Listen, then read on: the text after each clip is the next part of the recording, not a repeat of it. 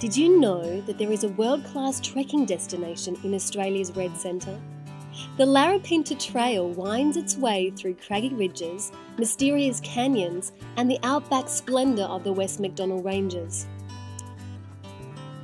The pioneers of trekking the Larapinta Trail are the original Australian adventure travel company, World Expeditions, which has been operating fully guided and supported treks on the Larapinta for 15 years.